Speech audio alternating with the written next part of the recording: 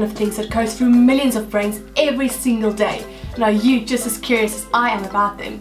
Have you ever had to deal with first dates, relationships, how far is too far, future plans, and you don't know who to turn to for advice? Your sister's probably going to embarrass you, your friends will make fun of you, your parents are never around to listen, and of course, the internet trolls will probably bully you if you look for answers there. And that's exactly where I'm coming in.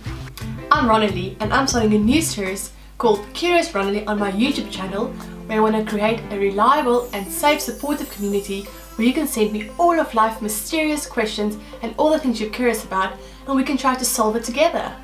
And whatever you're curious about, I'm pretty sure there's hundreds of other people that's just wondering about the exact same thing. And if we can help you get to the right answers, we can also make a difference in other people's lives. Win-win, right? So a little bit about me. I am And as you can see, I'm having my fair share of curiosities about life and everything in between. Stuff like this.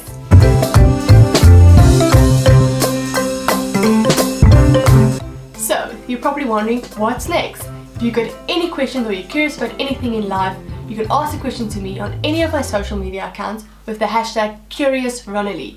Now make sure about the correct spelling if you don't want me to miss it. You can also put a comment in a comment box below with your question and if you don't feel confident enough, you can do this anonymously. So if you don't want to miss this series, head on over to my YouTube channel called Ronnilie and uh, you can subscribe there so you can get an email every time a new video is out. And while you're there, why don't you browse around and look for some more inspiration on my channel. Also, it's a good way to get to know me better as I would like to get to know you much better. Thank you for watching this video. Send over your questions and remember you're not alone. We can do life together. See you next time and stay curious everybody. Bye!